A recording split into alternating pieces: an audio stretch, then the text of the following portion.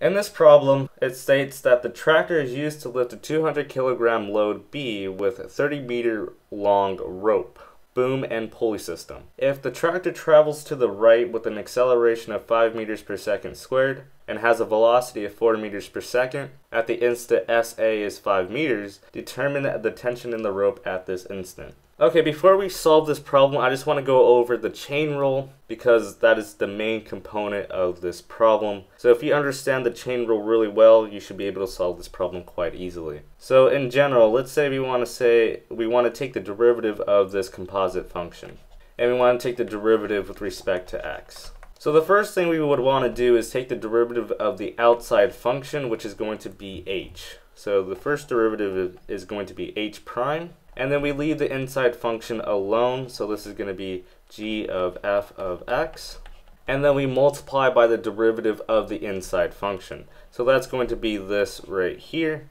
So that's going to be g prime of f of x. And then since g is also a composite function, we have to take the derivative of its inside function. So that's going to be f prime of x. And technically x is a function as well. So we can multiply by the derivative of x with respect to x. So we're going to say this is going to be d dx of x, which is simply 1. Now if it was a time derivative, then this value of x will have to be a derivative with respect to time, not with respect to x. So if you get that process in general, you should be able to solve this problem quite easily.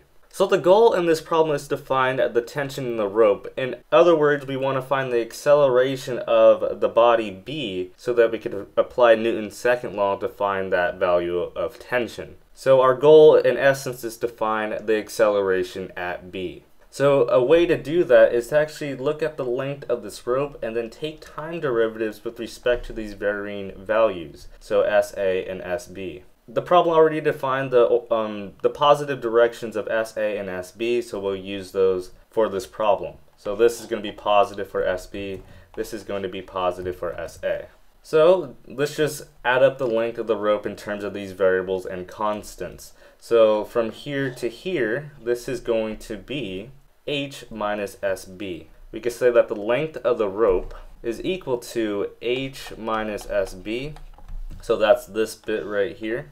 And then we could add up this little length around the pulley. We're going to call that P. So we could say that's just P.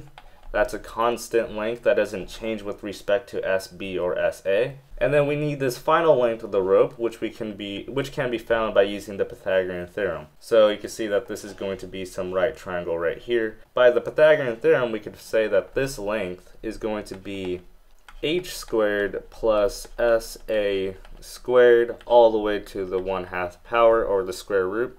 So this is the total length of the rope from B to A.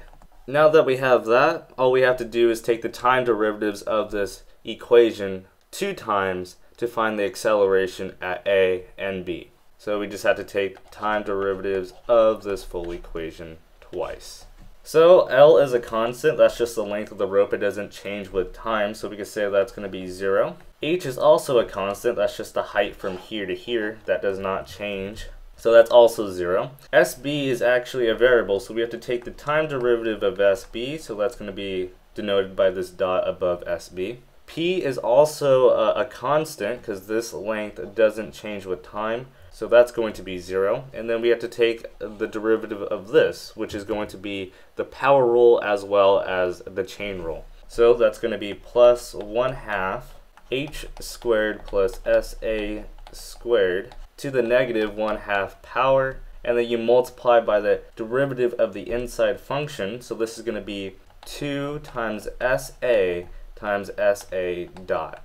So you take the derivative of sa squared, so that's going to be 2sa, that's this part, and then you multiply by the derivative of the inside function, which is sa, so then that'll be sa dot. So we could rewrite this a little bit nicer, so we could say that sb dot equals sa, sa dot, times h squared plus sa squared to the negative 1 half power.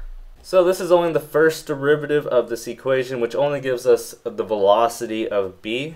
So we want acceleration, so we have to take the derivative again. So the second derivative of b equals, so I'm going to break up this function because we're going to have to do the product rule twice as well as the chain rule multiple times. So I'm going to say this is going to be our second equation when doing the product rule. So we take the derivative of the first equation, so that's going to be SA dot, and then we multiply by the second function, which is going to be SA dot times h squared plus SA squared to the negative 1 half power. And then we add, we multiply the first function by the derivative of the second function. So the derivative of the second function is this right here. We have to do the product rule again. So we'll call this right here the first function and this right here as the second function.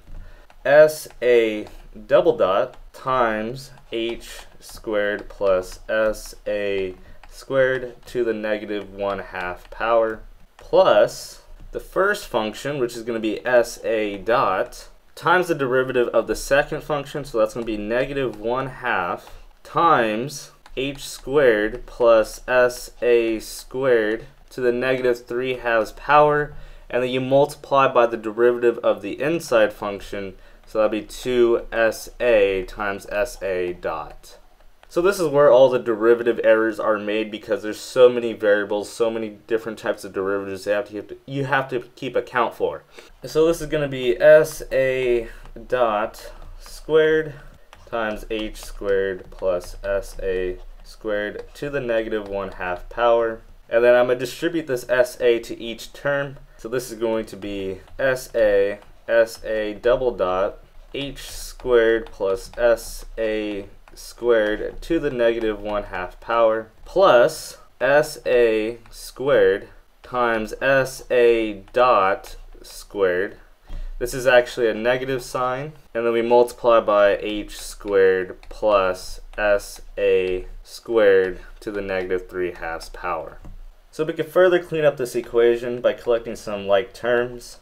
sa dot squared plus sa sa double dot, and then we multiply this by h squared plus sa squared to the negative 1 half power. And then we subtract this term over here, which is sa dot squared times sa squared times h squared plus sa squared to the negative 3 halves power.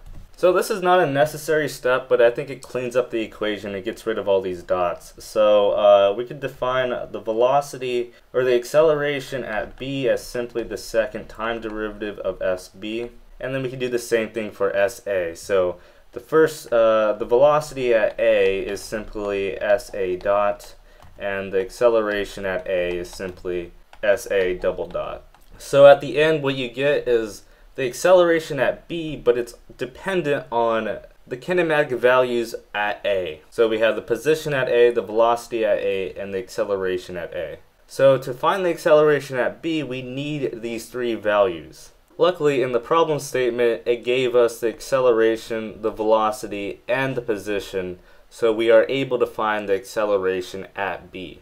So I'll plug in these values into this equation. So plugging in all these values, what we get is 4.847 meters per second squared. That is the acceleration of b at this given instant of time, which is defined by these parameters. Since our goal of the problem is to actually find the tension force in the rope at that given instant, we have to look at the free body diagram of B. So that should be pretty straightforward. So this is the body B. It's going to have a weight force because it does have mass and then there's going to be a tension force going up. So if we call this the positive y direction, we could sum the forces in that direction. So that we call up is positive. And we can say that the tension force minus the weight force equals the mass of B times the acceleration at B. And acceleration at B at this given instant is defined right here.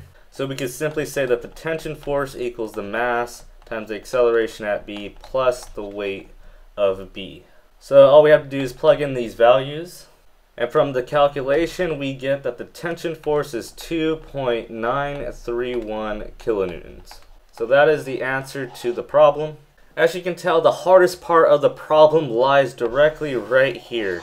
doing the product rule, chain rule, all those different types of derivatives, as well as keeping it straight with all the different variables, is probably going to be the most difficult part. In general, just remember the concept of the chain rule and apply it where it's necessary. And through a lot of practice, you'll be able to get this down quite easily.